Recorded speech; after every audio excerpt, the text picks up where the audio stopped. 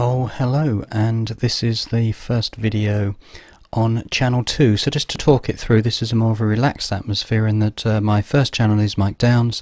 The one that you're watching on now is Mike Downes 2 and for the more experimental stuff will be Mike Downes 3 and Mike Downes 2 by the way is like behind the scenes stuff so let's get cracking with something.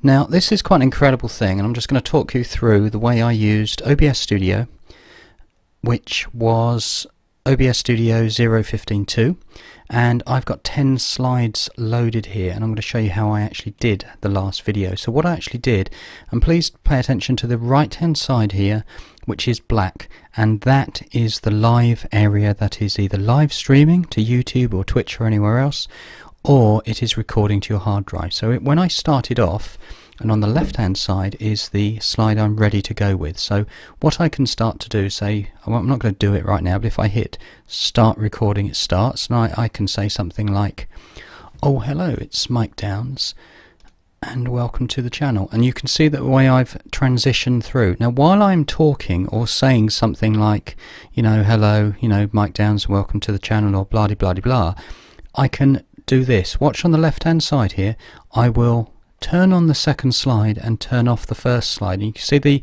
second slide is now queued up. Then when I'm ready to start talking about say the second slide or the second topic, I can hit transition.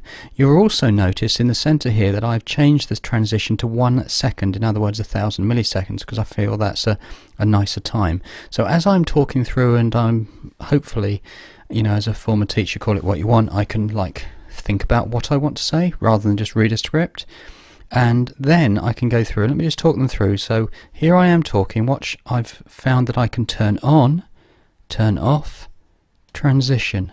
And that's what you're doing look. Notice also on the slides that I've loaded which are still slides there's no video clips there but I could easily add video clips.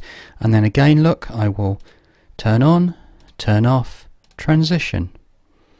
Turn on turn off transition.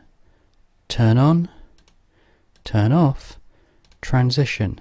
And then when I finished up, and for an example, if you wanted to go back to one, if I wanted to go straight back to, say, the, um, there we go, the top slide, I can reverse them and go straight back again.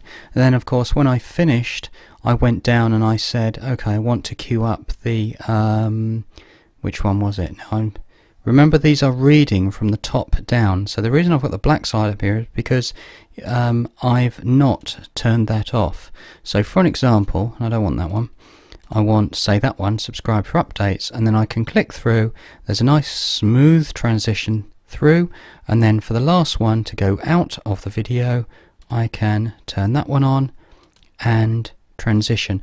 Now if I wanted to fade to black at the very very end, all I have to do is turn it off and then fade to black. So that was how I set up a one take video rather than going to my post editor, offline editor, which is Sony Vegas 13 Platinum, and I loaded the whole thing in OBS.